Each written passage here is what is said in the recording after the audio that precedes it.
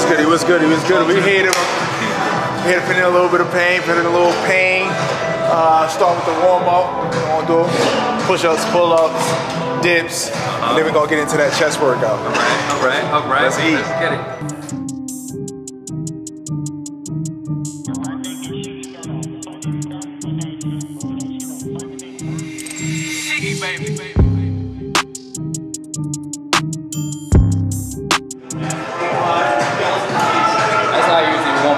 Dips, just to get my my push muscles going and get my shoulders warmed up.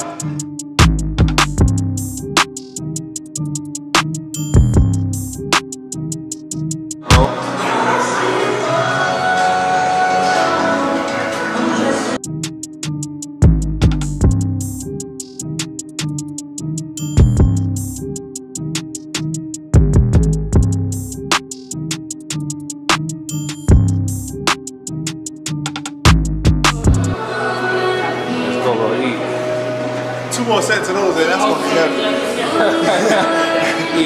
I'm gonna be like, nah, I gotta lose a couple pounds real quick. Eat.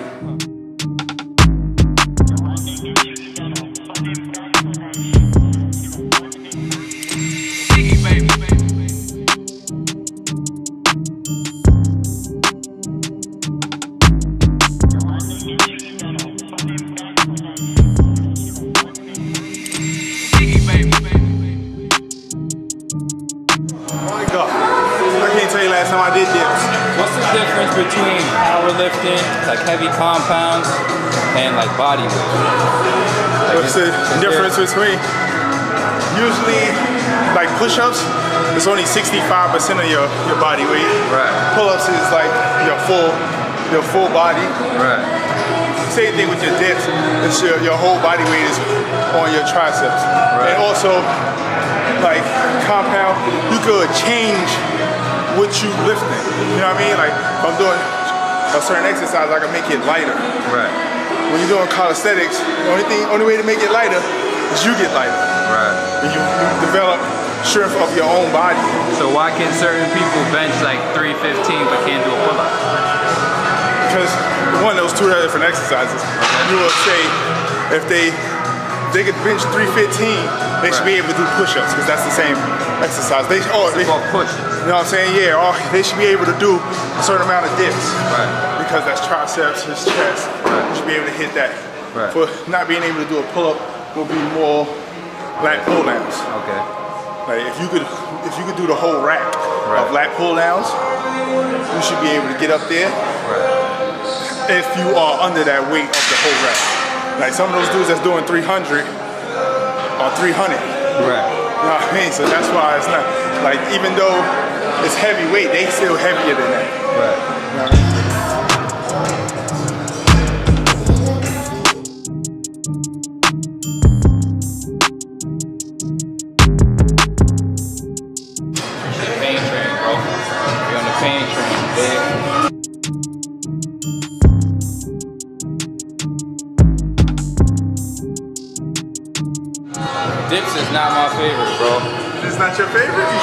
Dips are my worst movement, but you gotta lean into your weaknesses, you feel me? Don't stand on your strengths.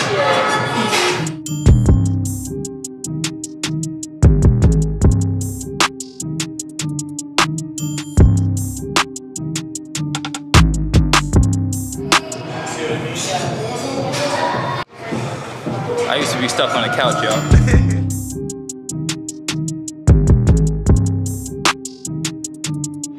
Oh, I hate that tingling feeling you get when you come down.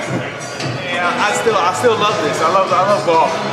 Yeah, I just don't never get this kind of feeling from lifting uh, weights and stuff. So it's always fun. I gotta incorporate it more. Let's go. Let's get to your other half. Let's get this chest. It's my realm now. Starting over these incline dumbbells. Just pumping the muscle up.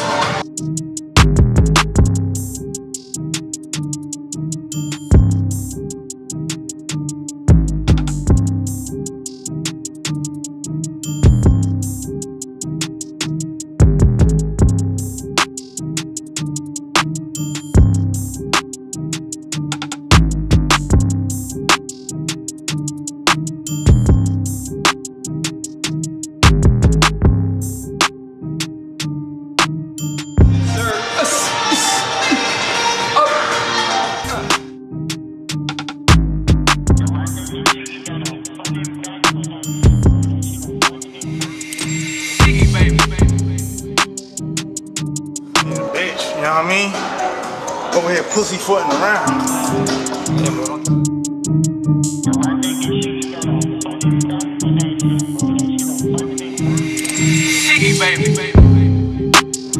You do your warm-up sets, get to a weight, do three, four sets of that, and then maybe your last set you uh, superset it like that for maximum burnout, and then we get to the other stuff where it's high value, high reps. Use that first compound lift as something that rips and tears I mean, as much muscle tissues as you can. Because Right. you already do calisthenics, you come in here Right. to, to, to do some trauma, trying to rip these muscles apart so they can rebuild more jacked and swole. Swag. Let me straight up. These pec flies, what we gotta do is, instead of going for reps, we set it to a moderate weight, moderate weight, and we go for as many reps within a minute. So we're going for time and reps. We're not just going for 20 a set, 15 a set. What we do is to get as many reps as, as possible so we can stimulate this muscle and keep the tension going for as many as possible. That doesn't mean short yourself. That means keep going, but see how many you can do, and over time, increase the weight if you need to, if you get to too many reps in a set. Facts.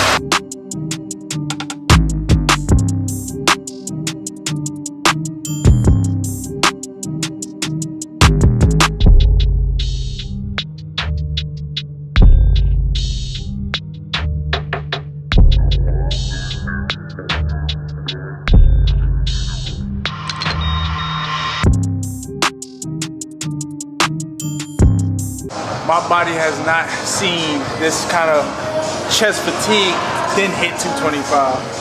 Um, them this, this joint feel heavy. This don't feel like 225 at all. Joint, the muscle fatigue really is crazy right now. Let's get money though.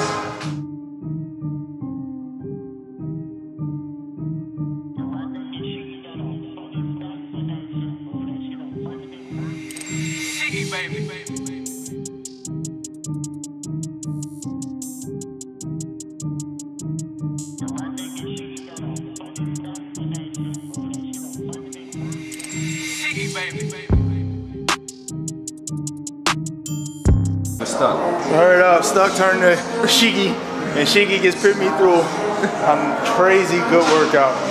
It was good, out of my comfort zone of how I format things. Like, I don't do 225 at the end. Right. I, I do. Right, my benching is normally at the beginning, Right. the compound, and then I get into the high volume stuff. Mm. So that made this 225 feel crazy. The other dumbbell stuff, 20 reps, 18 reps.